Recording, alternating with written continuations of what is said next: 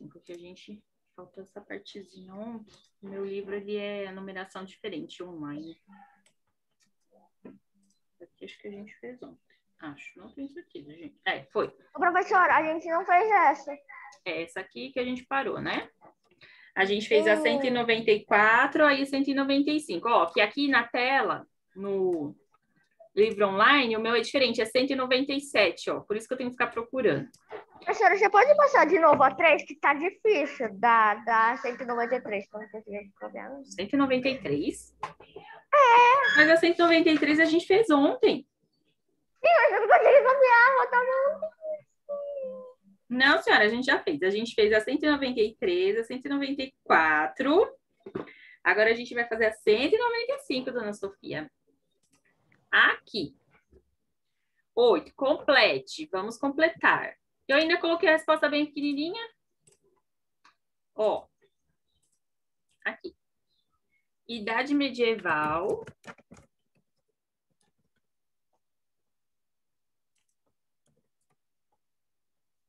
Idade medieval. Embaixo, Europa. Europa. Europa, produção e comercialização.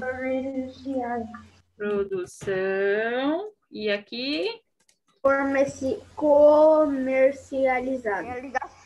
É, é, comercializado. E... Professora, exato. No, no mar Mediterrâneo. Sim. C, no Oriente. Aí a 10 era uma pesquisinha. Vocês fizeram? Eu, eu não consegui. Nem eu. Não, não tem problema. Eu, eu vou terminar. Eu, eu não, vou consegui. terminar. Tá. Ô, professora. Oi. Pode usar tipo assim, marca texto? Pode o quê? Marca texto. Usar marca texto? Pode. É como, assim, um referência. Pode, assim. só não pode canetinha, porque a canetinha passa para outro lado, mas marca-texto pode sim. Como assim, professora, marca-texto? Usar marca-texto? Marca-texto é para marcar, para marcar e também para usar como referência na 10. Grifar o que você acha importante. Pode fazer isso no livro? Pode, ué.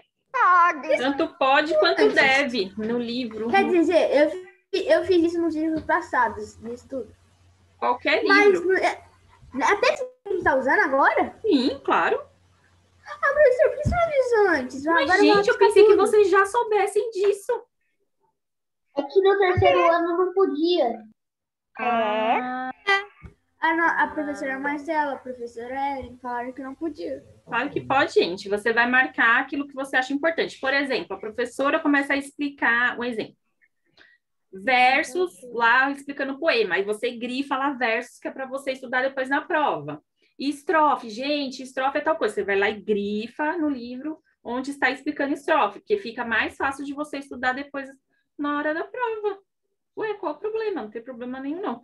O problema é você sair colorindo todo o livro, não prestar atenção na explicação, ficar fazendo desenho. Aí é uma outra situação.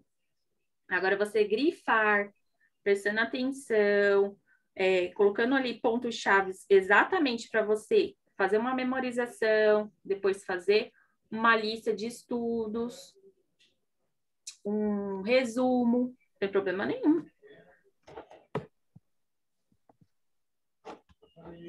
Ô, professora, eu posso colocar assim, ó, marca texto como, é, como é feito marcar Deixa. A, não, peraí. A primeira a caneta com ponta de feltro foi criada no Japão em 1962, em Ótio. Ótio Oria. Ori. Mas foi somente na década de mil, 1970. É, hum. 1960. Oh! Fica saindo. Peraí.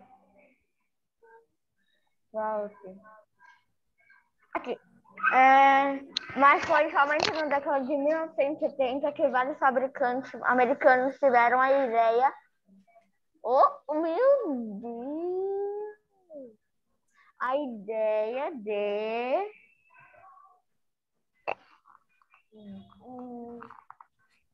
de pegar essa mesma caneta e colocar nela tintas fluorescentes.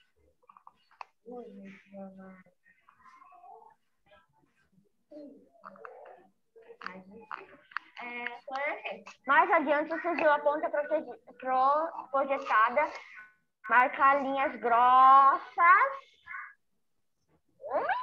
Está excitando. Grossas. Grossas. Mais grossas. Oh, meu Deus, o meu tá me quitando. Gro... Peraí. É, é, eu vou colocar, peraí. Que não dá pra.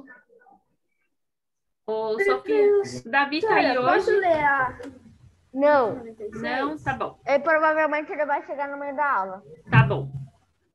Só pra eu saber. Posso ler 196? Aí eu espero um pouquinho, senão eu tenho que marcar falta. Calma aí, só um pouquinho, tá? Que a gente já vai falar sobre isso, tá, Matheus? Pronto, gente, até aqui, ok? Aham. Uhum. Tá. Então, agora a gente vai lá para a língua portuguesa. 54. O que que foi? 54. A primeira. Peraí, professora. Aí você pode ler essa, tá, Matheus? A 54. Eu acho que eu consegui marcar isso aqui. Consegui não, aqui. Qual que é Posso ler a 55? Pronto. Pode. Ver se eu acho aqui.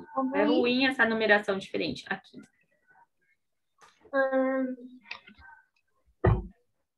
Poema Recuso sonoro e exclamação. São tantas as formas de organizar um texto. Estamos estudando os escritos em versos estrofes, poemas e letras de canção, mas você já leu outros divididos em parágrafos com, com as frases indo até o final das linhas. Existe um texto em quadrinho, Charles, poema concreto.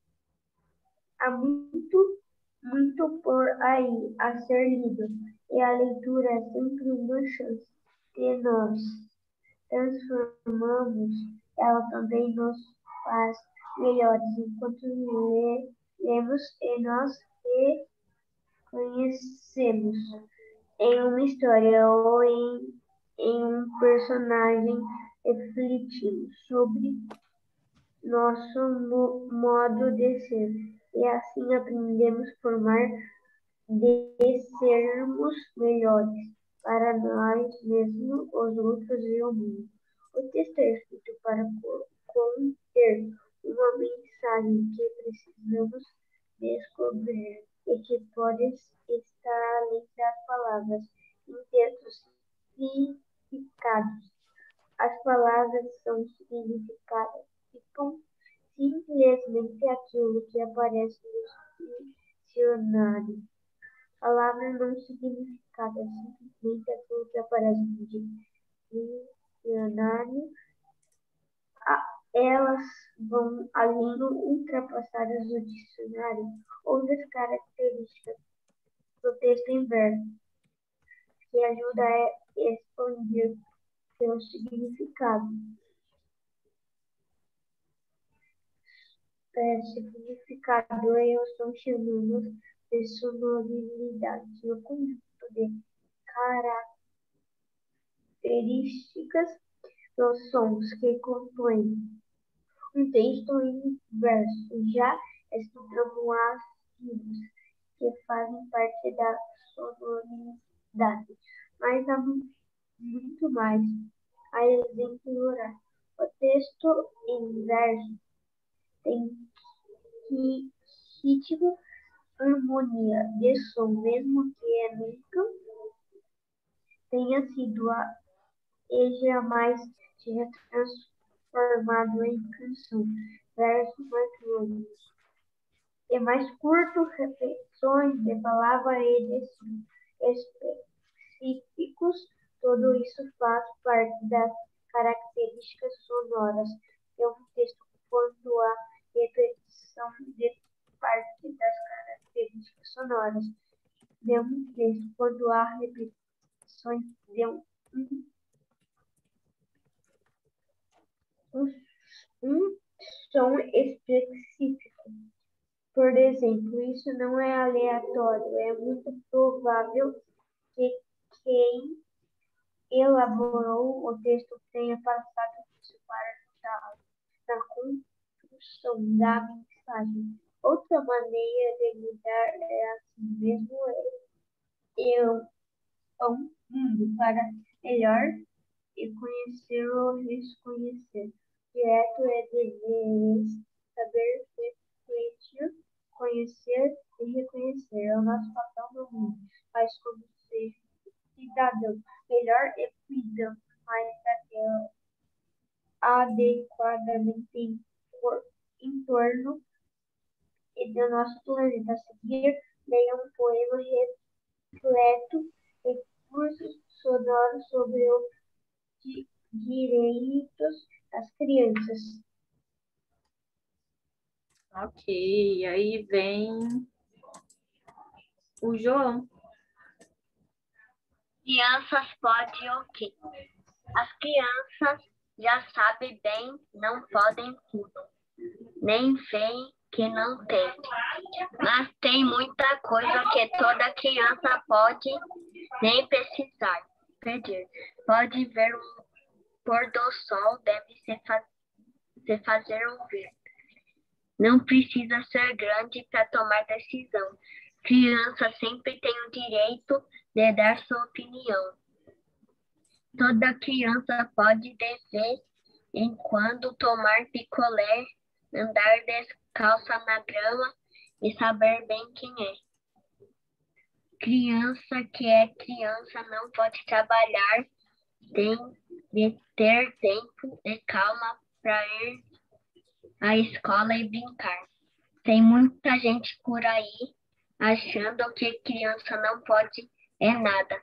É bom esse pessoal ficar esperto e dar ouvidos à criançada. Crianças podem pensar felizmente e felizmente pensar é sorrir felizes, refletir e felizmente agir.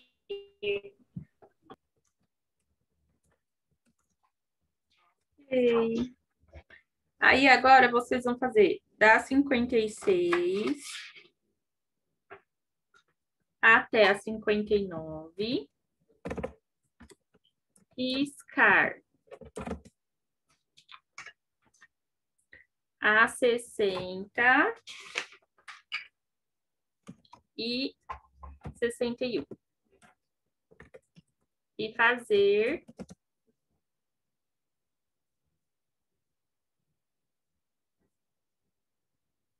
a 62.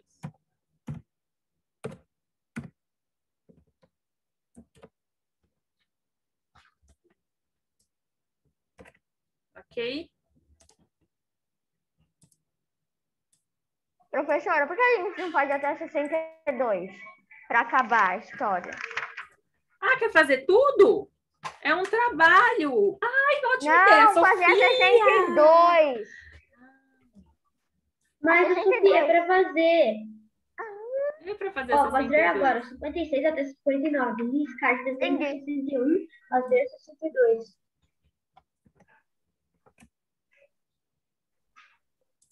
Mas se quiser fazer o trabalho, Não. sem problema nenhum. professora. Da 56 até 59, cara. Aqui. E descreva a divisão do verso da história. Oxe, mas Jaster! Oxe! Professora, Oh, é, versos são linhas, estrofes são um conjunto de linhas. muito bem.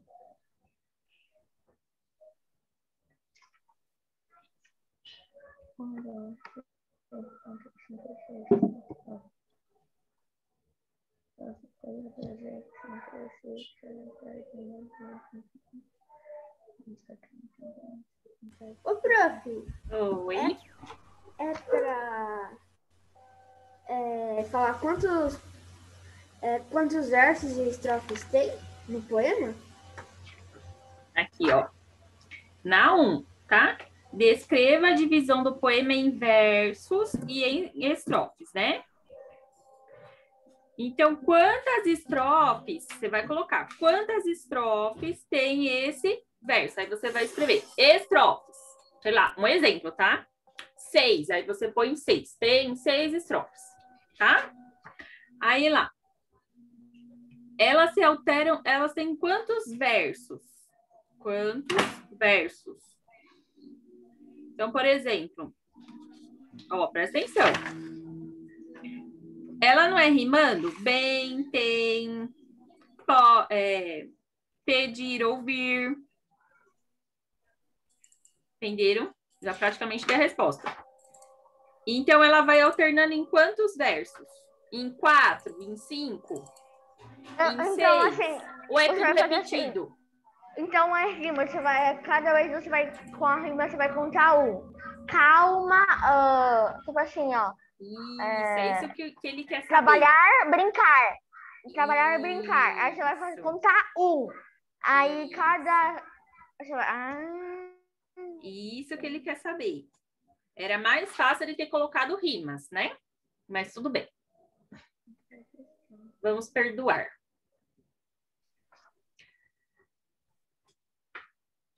A divisão, Ju, é esse espacinho, essa linha que pula aqui, ó. Tá vendo esse espacinho aqui? Entre cada um? É isso que ele quer saber. Quantas tem? Esses aqui que você vai contar, tá vendo? Ó, quantos tem desses assim, ó? Entendeu? Prof, Oi. é, não tem. É, descreve a divisão do poema em versos. Sabe? certinho. Hum, Não tem é, o verso? Pode riscar o verso e, e trocar por poema? É, não, rima. pode. Não tem problema não. mas é, é, é, Versos não são linhas? Sim. É porque assim, ele quer saber o que tá rimando. Na verdade, essa seria a pergunta, entendeu? Só que ele colocou versos, aí confunde a cabeça. Porque como ele colocou versos, o que, que a gente vai entender? Que a gente precisa contar as linhas, entendeu? Uhum. Mas, por exemplo, no primeiro, crianças, não tá rimando com nada. Mas o bem tá rimando com tem. É isso, na verdade, que ele quer saber. O que tá rimando com o quê? Então, bem tem, tem, são. É uma, É, entendeu? É isso que ele quer saber. Mas aí pedir, na... ouvir, são dois. Isso. Mas aí na pergunta ele não esclareceu direito, entendeu? Ele colocou uma pergunta curta que confunde a cabeça da gente. Ô, professora, a quarta não tem rima, né? A, a quarta estrofe.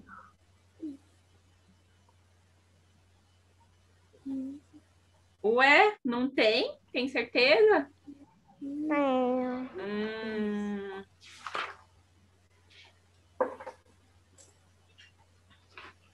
Vê aí quem rima com picolé. Oi, Davi, tudo bem? A gente está na 55 de língua portuguesa. Pro, eu te mandei a resposta da. Eu falei, tá certinho. Criança. Picolé rima com é? Hum.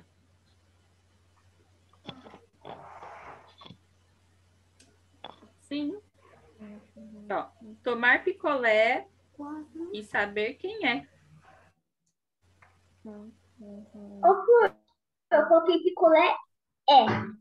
Isso. Criança criançada. Por.